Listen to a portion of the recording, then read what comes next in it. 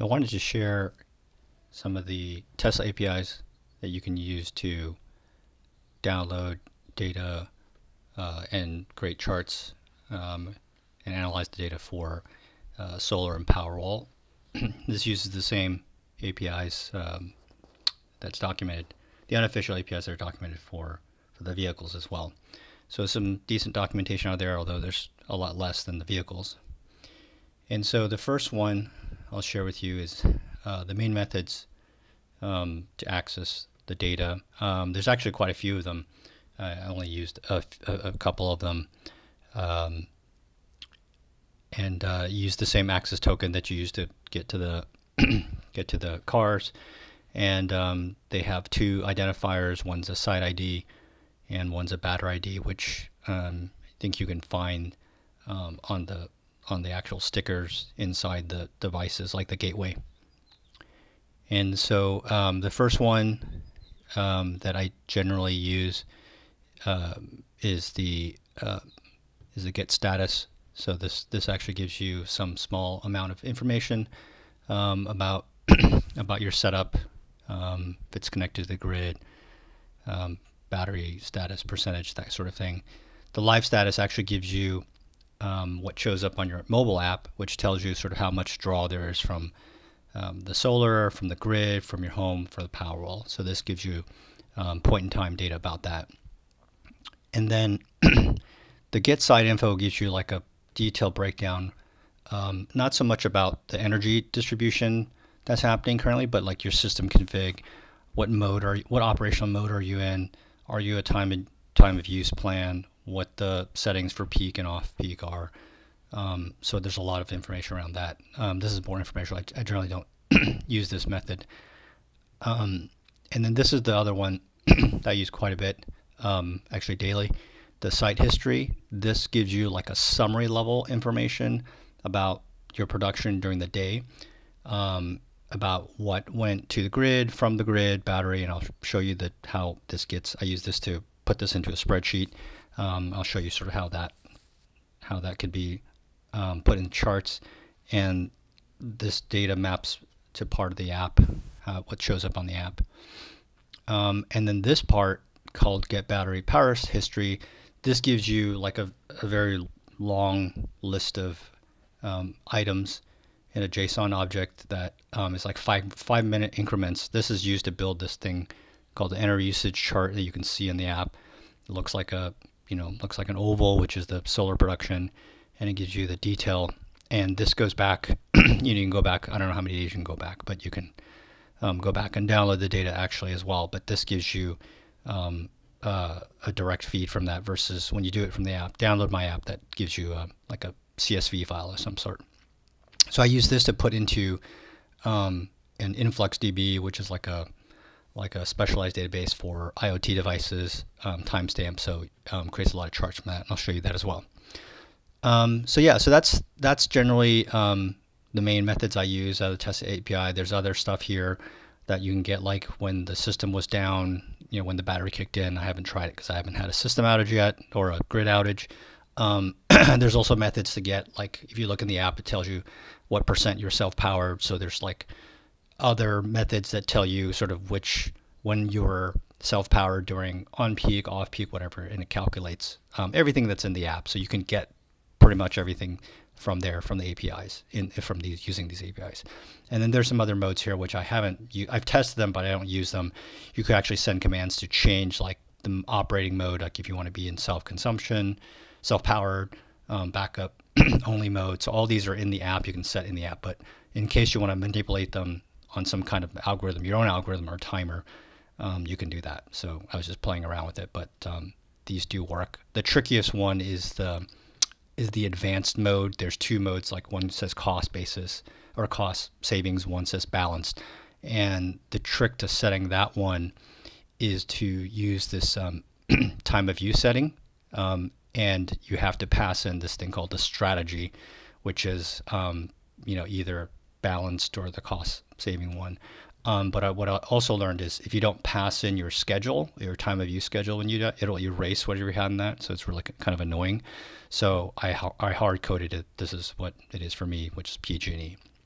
So anyway, so these are so these are some of the basic methods, um, and then what I do is then I write that information using another method that accesses um, and then formulates the objects that will prep the data packet to be written into a spreadsheet or um, InfluxDB. And um, you know this one is the summary level one I told you about. So this is the site status. It gives you like a summary for the day, and um, I'll have I'll have links to this in GitHub so you can look through the data. Um, it gives it to you. It, I don't know. I don't quite fully understand, but it gives it to you in like two day chunks. So like when you when you call the API, it gives you like the day you ask and then like minus one day or something like that. So I don't know why it does that, but it does that. And so what I have to do is I have to pass in a date through the function on the top, um, which is uh, I'll explain how that works too. But I pass in a date, and then I I have to strip out that date and look to see if it matches a year, month, and day, so I can get all the data for you know that particular day. Um, because like I said, there's there's more than one day in there for some reason. And then I can pull out you know all these things. I'll show it to you in the spreadsheet. Um, and so this is what it looks like. Um, so I pull some of it to get the battery capacity. So this is the max capacity. So I could use this to measure how much degradation there is, what percent it's charged um, at that time. And then this, all this stuff on he here that says th these um, kind of long names, these are the actual field values. And I kind of color coded them and grouped them by kind of a logical grouping. And then I wrote like a human readable format down here because some of these are difficult to understand. So is it to home or from home? Well, it's always to home. Um, and then where did it come from? It came from Powerwall, came from solar, it came from grid, you know, so on and so forth. So um, so I have them grouped in here, and I, I mapped the, the, the names into um, into like a human or a friendly format. I don't know what service the grid service is. I see that a lot. Um, I don't know what it is. I don't have any values for it, so I don't know what a grid service is. And I don't have a generator, so um, I think if you did, you can have values in here. And what I did was then you can um, I created a new section called mobile app stats. So if you actually roll into your um, into your uh, PowerFlow and click the little stats button, you'll get a little page that looks like this, and it tells you for you know you can put whatever day you want, and then you can do week or month or year kind of kind of thing, and it gives you like this roll up that says here's how much your home use, how much solar you produce from power, you know, so you can see this here. And essentially, that's coming from these stats. So if you do the math on some of these things, these numbers will match exactly what's in the app. So that's how you can recreate. And then you can chart it. That's what I do. I chart it over time to see, hey, seasonally, how much solar am I generating? how much am I putting to the grid? So on and so forth. So it's essentially it's this information charted over time, which you know I think can be useful. And then here I'm tracking the Powerwall capacity, which you know over time I suspect it may degrade a little bit. Um, just want to be aware of that and then there's some information I wanted to track for for home usage. So that's um, that's on the the summary side, which um, like I said, there's this part. Now on the detailed side, which is the five increment, when you scroll up on that same page in the app, you get this sort of picture, and if you kind of drag your cursor along, you'll get you know what the value is for um, any one of these four at any given time. And so that's what this um, second method is, which I call the write detail method. And, and um, this detail method is the one that calls this method that gives you the five, uh, five minute increments. So you can, um, in the same way as the other one, for some reason, it gives it to you, even though you ask for a specific date, it gives you that date plus another day. So I have to match up the month, day, year to make sure, excuse me, I grab the correct data for that day that I want. And what I do is I run it on a timer just after midnight on a cron job that asks for the previous day. So it loads it up in batch. Um, I suppose you could do it. I'll show you. Actually, I do a real-time version of this too, but you can load it, you know, not in batch, but just choose to load it in batch um, for the previous day. So it's the date is is minus one, and so it'll pull all this information. And these are again all the fields that you saw on the spreadsheet. Um, uh, but this version is, uh, you know, like I said, this detail, um, I actually write to a to a influx database. So um, I'll show you that database as well. So this this this information recreates this graph Um, and I did it in a spreadsheet initially, but um, there's a lot of data, so I put it into this InfluxDB, and there's a Grafana um, visualization, which I'll show you. So it's really the four things that you see on this app, um, the home usage, uh, what they call load power, solar power, battery power, and grid power. So those are the four. We actually, this took me a long time to figure out. It actually only gives you uh, these three. And what I, it took me a, like a few days to figure this out. Um, the fourth one, the home usage, is actually the sum of these three things. So I, for the longest time, I couldn't find where this this data was, but it turns out um, they just calculated from the sum of the grid power, the battery power, and the solar power. So that the, the net of those things tells you how much your home is drawing, which it makes sense. I just it just wasn't apparent. And then um, I get you know a database client for the InfluxDB, and then um, I write it to that that database. And then so you know what it what it gives me is it loads this um, this this this data um, for the previous day, all, you know, however many, there's probably a 100 something values in there. And it puts it into um, this uh, Influx database, which you can put a, what's called a Grafana. It's uh, these are all free. Grafana is a visualization um, kind of a tool, and you can build charts from that. And and this looks exactly. I even use the same colors, right? It use, looks exactly like you know the app one. You know, I can do a per day or you know whatever. I pick a, I could pick a particular date if I want, right? So this gives you the last seven days, and then you can do an integration over the over the curve, and it'll give you like what the total production. It's slightly off from what's in the app, so I think if you want a more accurate version, you have to use that you know spreadsheet thing I showed you.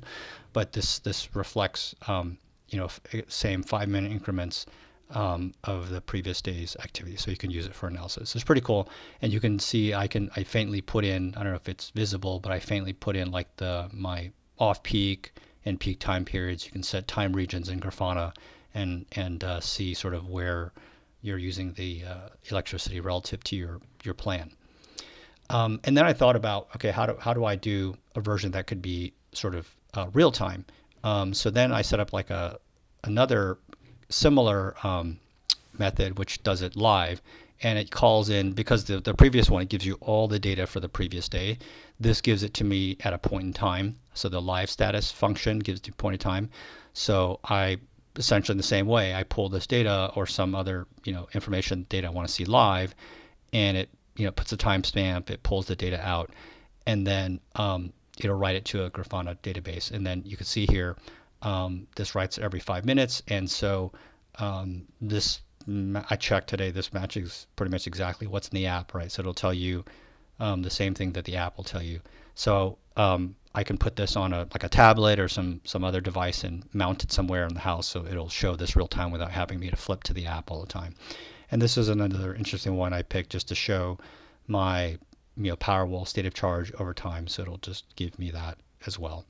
Um, so I thought these were really interesting projects to do with the Tesla API and using solar information and power information to either adjust my my habits um, or maybe change the way I you know make the system behave.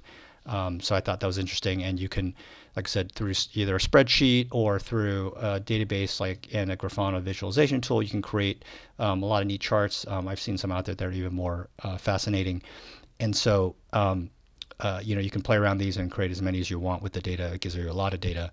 And you can either recreate what was already in the app or you can create your own, um, which is quite nice. So um, if this is helpful, feel free to like and subscribe. Uh, and if you have any questions about it, feel free to leave a comment. I'd be happy to try to help you with your project. Thanks.